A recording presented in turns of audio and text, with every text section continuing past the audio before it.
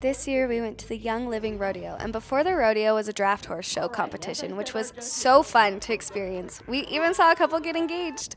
If you know anything about Grant and I, we love the rodeo. Anything that includes horses is Grant's favorite. The Young Living Farm is absolutely stunning.